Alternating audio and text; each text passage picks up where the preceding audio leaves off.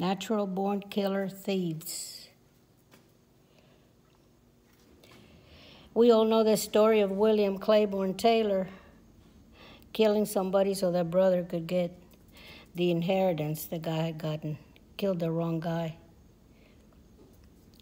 They've been doing this to many people. I'm just their favorite because number one got this for me.